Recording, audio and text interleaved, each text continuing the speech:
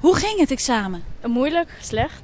Ja, ging niet goed? Nee, absoluut niet. Groot verschil met dat eerste? Ja, het was veel moeilijker, was veel lastiger. Uh, vragen waren niet echt in, ja, in ons begrijp. Ja, ik weet niet, het was niet begrijpelijk, zeg maar. Het examen was veel moeilijker. En uh, 15 à 20 vragen leken gewoon allemaal op elkaar. Het examen was gewoon veel te moeilijk.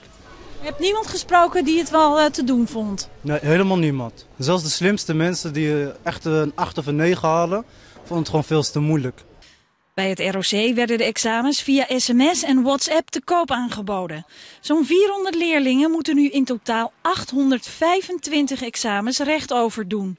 Ze vinden het een fout van de school waar zij nu de dupe van worden. De school die moet gewoon geen toetsen laten pikken. Ik bedoel, een toets stelen, daar denk je toch geen eens aan? Ja, ik vind het jammer dat we het over moeten doen, dat het wij degene zijn die de dupe ervan zijn.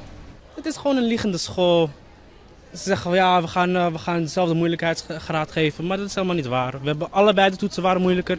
Zeker de laatste toets, die was veel moeilijker. Iedereen, iedereen zegt, het is moeilijk, het is moeilijk, het is moeilijk. In de eerste toets, daar kwamen echt van die simpele vragen in, die je gewoon één keer doorleest en je weet het wel.